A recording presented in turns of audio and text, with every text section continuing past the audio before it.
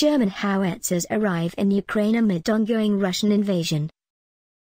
A batch of self-propelled howitzers has arrived in Ukraine as part of first delivery of heavy weapons promised by Germany, Ukraine's defense minister Oleksii Reznikov said on Tuesday.